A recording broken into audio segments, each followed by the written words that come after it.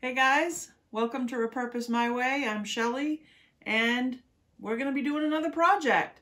And yes, it's going to be primitive. If you haven't guessed already, if you've seen some of my other videos, my favorite to do is primitive items. I've always loved to do that. I've always been attracted to the primitive decor and things like that. If you look at my Pinterest, full of it. But I also love farmhouse rustic you know, all the other stuff too. I like it. Um, and I dabble in a little bit of all of it, but my really favorite favorite is primitive. So I have a project that I started a while ago. This is a, I think it's a bedpost from a bed frame. But here's the post. Uh, it had some dowel holes and things like that, so I cut those off uh, and filled them in with um, putty wood stuff. Get it in there and fill those holes in so you don't see them. You probably won't see them with what I'm going to do, but you might. So that's why I did it this way. Um, I put a base on it. These are just two pine boards. Cut them down to what I wanted so that it would be sturdy enough to stand up on its own. So I'm going to be using the Waverly uh, Antique Wax and I mixed it with a little bit of water in my little solo cup. It's probably about one part antique wax, two parts water. Um, and I just want to give the base a little bit more uh, color to it. So when I sand it down, which I am going to distress it, I want to have some of that darker come through as well. And then once I sand it, I may end up going down to the bare wood. And what I can do is take that and go over the bare wood spots, and make them a little darker. I can do that on any of this. Um, so I mixed up just a little bit more, I think, than what I'll need so that I can um, use it later if I need to. All right, there's my antique wax watered down. And here's my rag. Let's see how well this comes out. Oh yeah.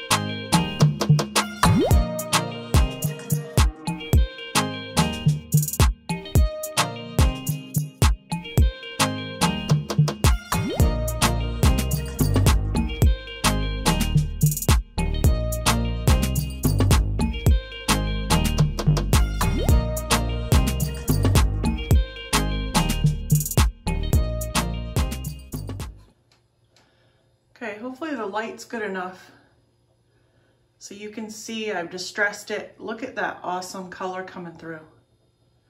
It looks like it's worn from, you know, if it was uh, one of those posts at the end of a stairwell or the top where people would grab it all the time and it's just worn down from that.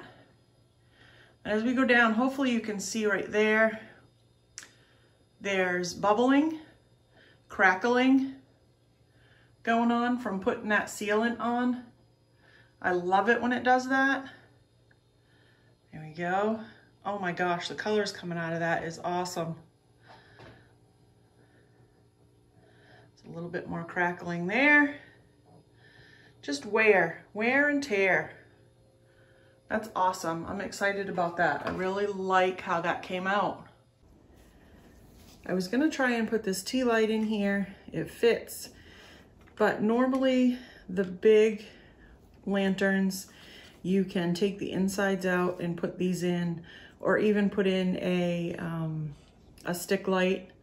But um, these small ones, you can't take the insides out. So I'm going to improvise and use some of these. And this way the battery will be on the outside and you'll be able to change it, turn it on and off if you want. These are timers. I always try to buy timer lights if I can.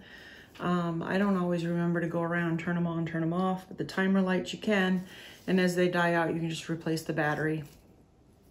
Um, so we're not gonna do these cute little tea lights.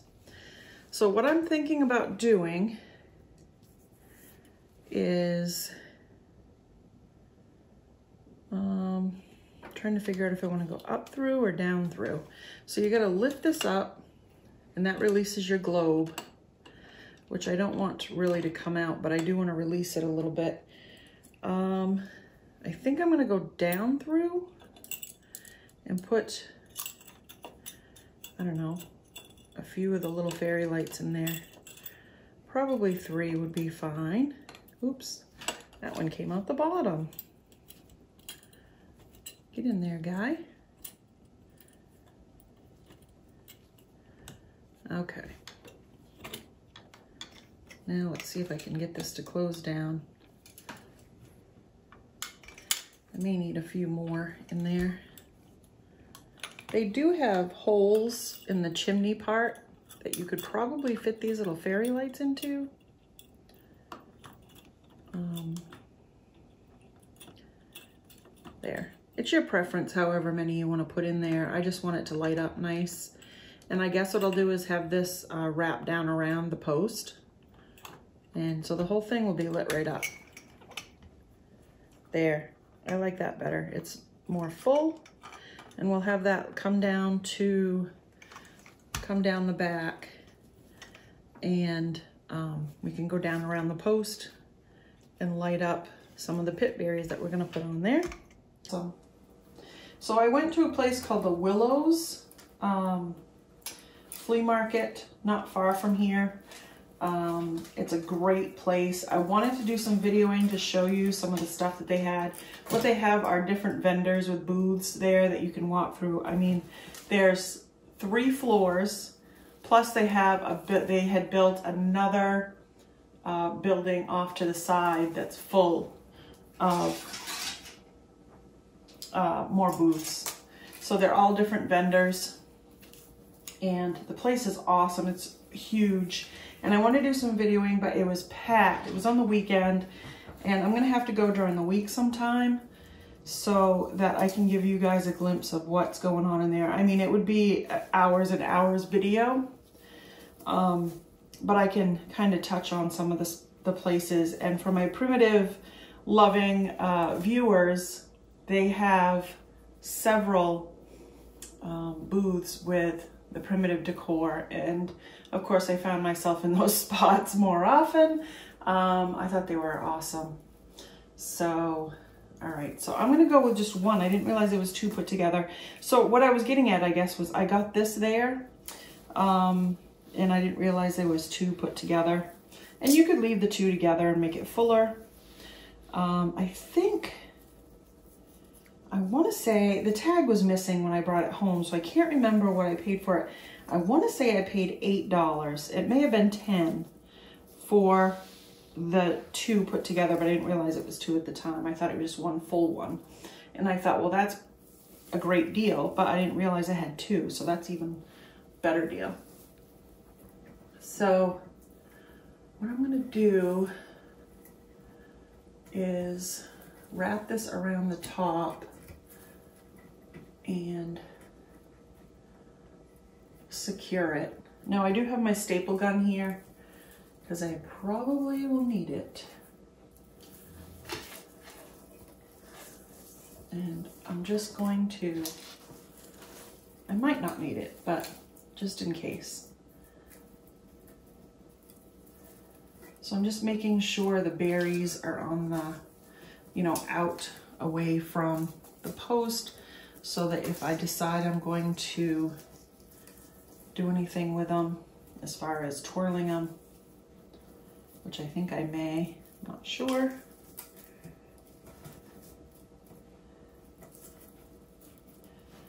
And I like that this is wired because you can do what you need to with it. Okay. Let's see. There we go.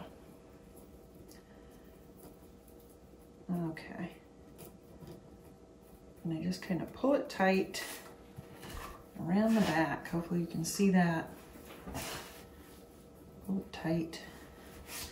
Might be glad that I have that other one because I may extend it because I want it to go down around the base as well. So I'm going to do,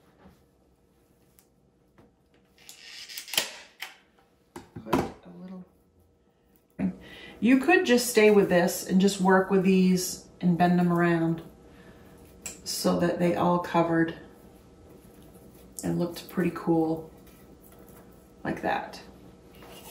You could do that. And that looks fine. That looks fine the way it is, just like that. Um, I feel like that's kind of fell down a little bit.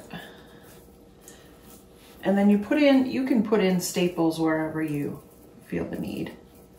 Like this one doesn't want to stay up, so you could put in a staple here so that you can get them spaced out the way you want them. So you could just keep tweaking and maneuvering these wires around and leave it just like that.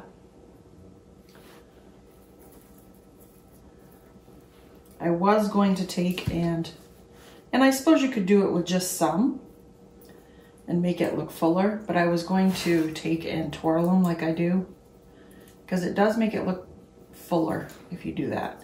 And you could just do it with a few. It doesn't have to be, that one I did not twirl very good. Let's see, it's better if you do it that way. There we go.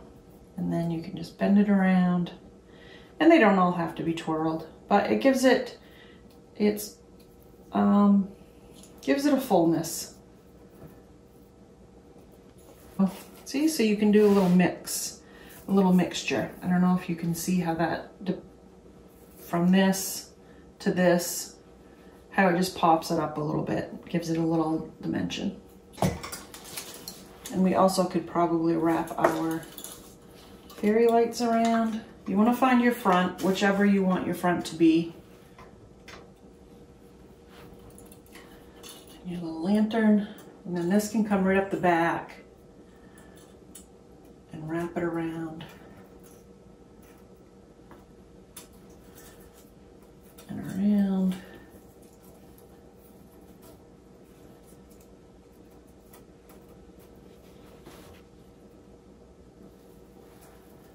And around. And I have just enough. Wow, perfect. And then I just take the, the little battery pack and I just set it in the back. You could, I don't know, you could Velcro it in there or I just hide it in there. It's gonna be in like a corner. And again, if you wanted more pip berries somewhere, you can always add some more. Just make sure you have enough. Like I have this whole thing here pieces of material. My favorite is the smaller squares, which would look really good. And then I have this one as well. And I cut a piece off of this one. Um, so I thought I would use it. And what I want to do is wrap it around up here. See if I can do this without being in front of it. And just kind of tying it. I do a double. You could do a bow if you want. I'm not super huge into bows in my primitive stuff, but cut it at an angle one way or another. There we go. And hopefully that looks good. Do that. And so there is my beautiful primitive post with my lantern. You could have your, um, could turn it around, I guess. You could have your handle, because I already put the wires in. You could have your handle in the front if you wanted to. That would add some coolness to it. But there. Let's see how it looks in its